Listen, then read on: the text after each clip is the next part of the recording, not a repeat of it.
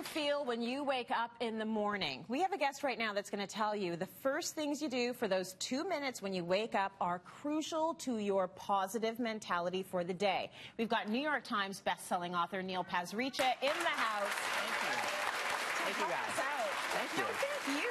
Because I like the fact that you're thinking about rewiring your rewiring your brain right from the get-go, right from the time your eyes open in the morning. Yeah. So talk to us about what you think we should be doing. Sure. Well, first of all, I'll tell you what I was doing personally, which is probably what most people are doing, which is having this really frenetic. You know, uh, you jump out of bed, you're racing downstairs, maybe you're turning the coffee or tea on, you're grabbing a screaming kid, you're running or you're, you're late for work. It's it's like horrible, right? It's like horrible. yeah, and we don't we aren't thinking during that whole practice because you know what we're doing is we're stressed. We're stressed Yeah. about whether I'm going to be late. We're stressed about all these things. And here I am, you know, I've written these books about happiness, and here I am myself. I'm like, I'm struggling to get through my day properly, and I can't seem to start it on the right foot. So what I started doing, Tracy, before this thing even came out, is I started getting a, an index card, and I started writing three things I will focus on each day. Just having a little list in my pocket all day of things I will do mm-hmm. helped take away all the things I could do. And at the end of the day, when I crossed them off, I felt great. I looked into this, and it mm-hmm. turns out there's a lot of research behind doing it.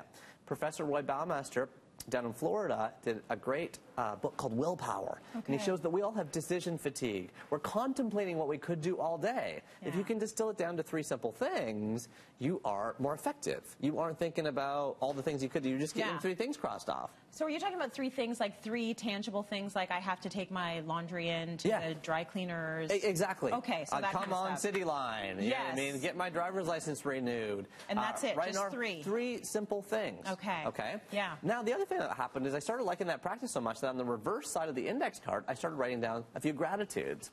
I started writing down a few gratitudes. We know from research from Emmons and McCullough that if you can write down five gratitudes a week, then after a 10-week period, not only are you happier, but your body's also physically healthier. Oh, really? They compared it to people who wrote down hassles and people who wrote down events in their life. And they found that writing down five things you're grateful for, if they are if they are specific, can actually help your physical well-being. Mm-hmm. Okay. So it, it has to be specific. You can't just write down friends, family, and love. Friends, Right. family, and love. You have to say like, my husband Antonio finally put the toilet seat down, and Right. Rover learned how to shake a paw. My boss said good job in an email, and my other, you know, my my other teammates were CC'd. Like something specific, specific. Okay. So I Mm. Had this cue card. I'm starting to carry it around, this index card, Yeah. and I'm liking it. But you know what? I still had a problem. Okay. You know what my problem was? What was your problem? I still wake up with these little anxious thoughts.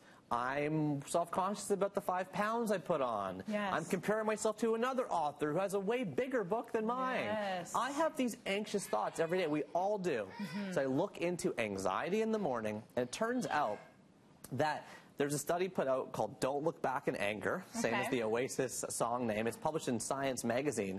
And they showed that if we can crystallize our worries and minimize regrets as we get older, we Mm-hmm. actually increase our happiness. So for those of you in the audience that are Catholic, you may know the confession chamber.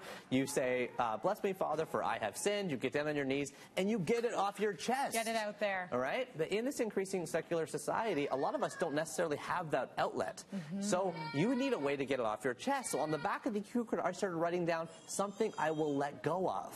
This turned into a daily practice I did for years, Tracy, and now it's just come out as a practice for everybody else called two minute mornings. Science based exercises to fill out something you will let go of, Mm-hmm. a few things you're grateful for, and three things to focus on. And if you can spend two minutes doing those three things, you prime your brain for positive thinking all day. You have a much better day. So you get up and you Yeah. have you done this the night before? Or you're doing this in the morning when you get up. It's funny because so far what I'm hearing back from people is a lot of people are saying, I prefer, even my wife, she's like, I prefer doing it at night. Right. Okay, I'm a morning person, so I Yeah. call it two minute mornings. Right. Because for me, it's the practice in the morning. But Leslie, my wife, is like, she much prefers it as a form of closure Yes. and predictability for tomorrow. You So- know what I can I would Yeah. do both. What I would Yeah. do is I would do the night before, I would say these are the things I need to let go of. Yes. The morning of, I would do my gratitudes and my three things. Yeah. Well, you know what? You can use it any way you like to use it. This is it. It's Yeah. two minute mornings. Yeah, you flip, Uh, if you flip it open, you see there's just three prompts every day. it's so cool. I will let go of, I'm grateful for, Yes. I'll focus on. I'm a journal junkie,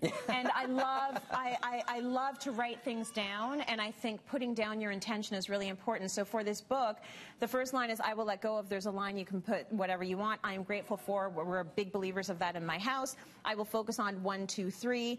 And then for the day, like you feel so good. Exactly. Right? Exactly. You feel incredible. We want to have you doing this as well because the choices made in the morning can have a huge impact all day long. So to help you get motivated, Neil has brought down copies of his journal, Two Minute Mornings, for all of you.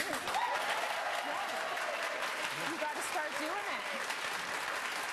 It's the little changes Exactly. every day that can make a big difference. And then on top of that, it's just getting into the habit of thinking in a positive light. Mm-hmm. And even if you don't go any further than that, like the things that you need to get let go of, do you find that they might be the same things you're writing down day after day after day? Well, the beautiful thing is, as I look back over the last few weeks, I'm like, oh, I can't believe I was worried about that three weeks ago. It starts to become hilarious when you look at all these things you're worried about, and you're like, oh, good, eh, good. It, by crystallizing it, you get it out of your system. That's right. Yeah. Okay, that's what I do every morning in the makeup room. I just all my problems, and then I'm, I'm, I'm fine.